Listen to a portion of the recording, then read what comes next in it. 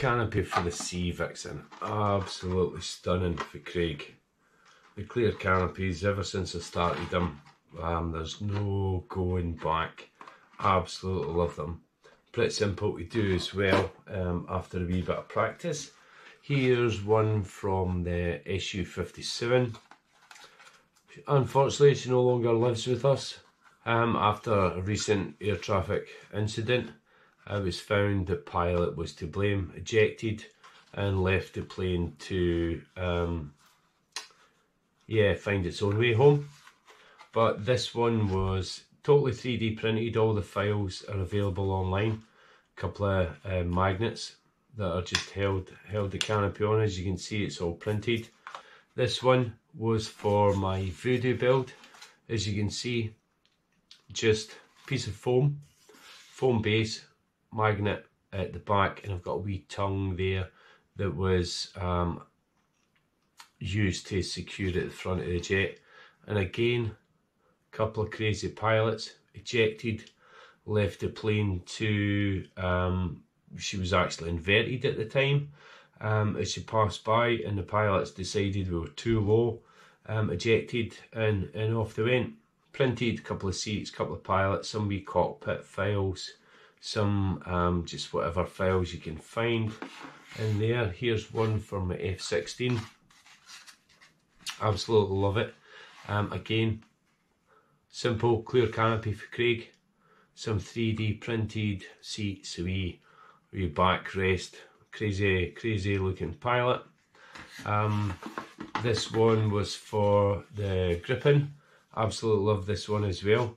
As you can see here, um, foam base. I've used two magnets to secure it onto the fuselage itself.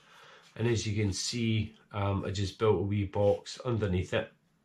Um, housed the, the seat in there to where I thought it was right. Um, the pilot, cut off the pilot just so it sits in there. Um, a wee cockpit dash and some wee bits and bobs in the back just to make it look pretty cool and I've actually got some um, fiberglass cloth um, just stuck inside there that I've, I've painted as well. Just in a wee tan colour just to add a wee, wee bit of difference of colour in there. So how I go about them is pretty much um, the same same same method. I'll 3D print the the canopy and I use that throughout the build process, making sure that the cockpit, um, the spacing and things in the cockpit is all um, relative and, and matches up to the 3D printed so that this matches that. Scrap piece of foam, just mark around it.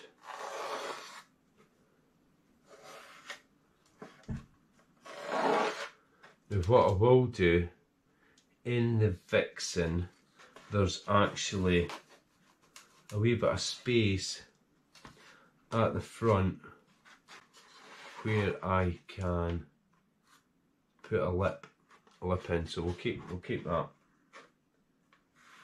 wee bit extra there at the back.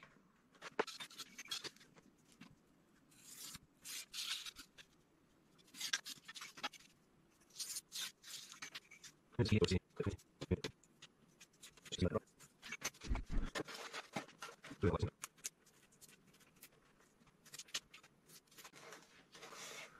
about right.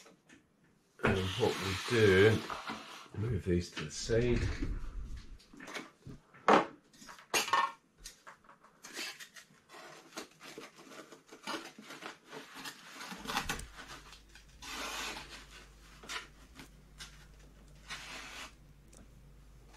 So that will allow us to slide the canopy in and close it by using some magnets.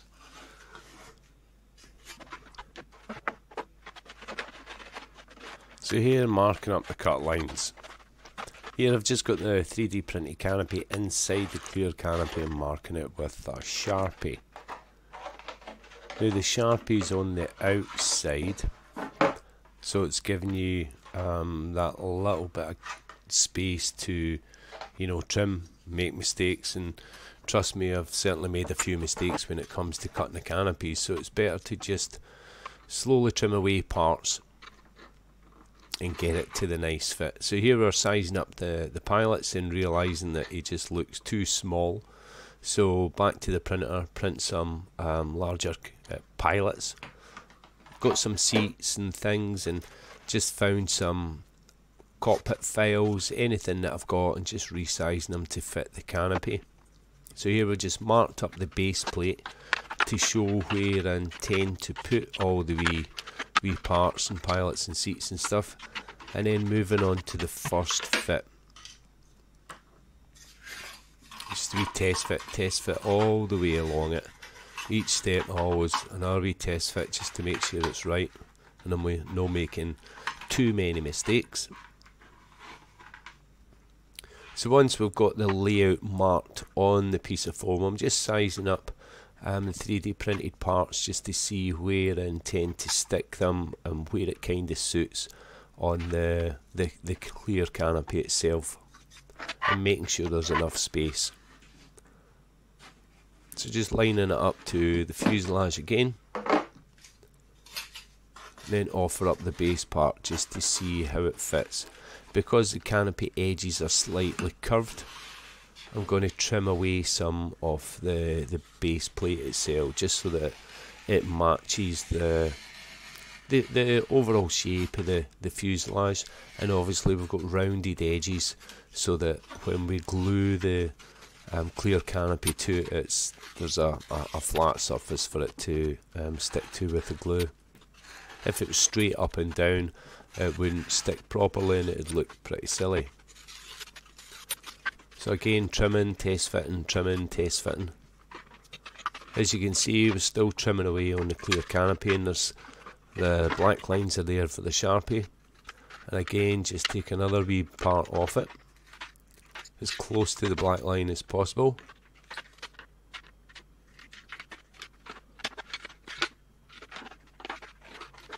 once I'm kinda happy with it, or nervous might be a right choice of words.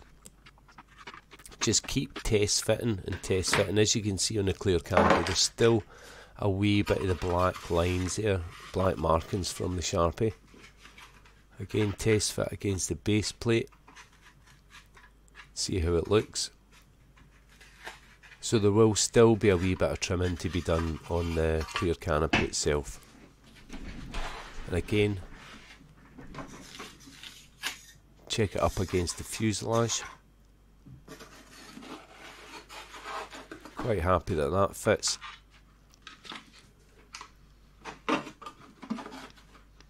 And then sizing up the clear canopy itself. Now at this point it is still just a wee bit too big. So I've trimmed off um, just a wee bit more of the clear canopy. It's better to have wee bit excess than than not enough and trim too short. So here we're just marking up scrap piece of foam, cutting the end panels. And these will be used to support the canopy itself at the back and at the front.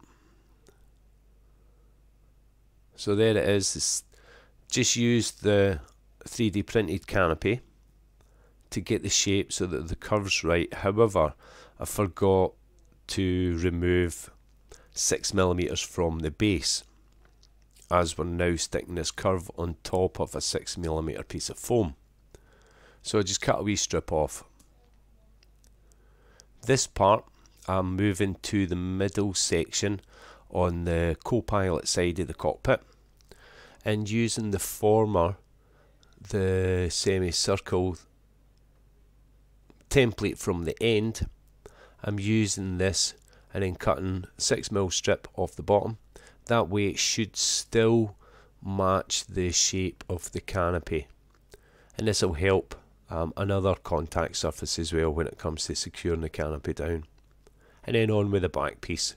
Again remove the 6mm strip from the bottom. So here we're just sizing up the co-pilot's cockpit. It is quite shallow so it takes a wee bit of trimming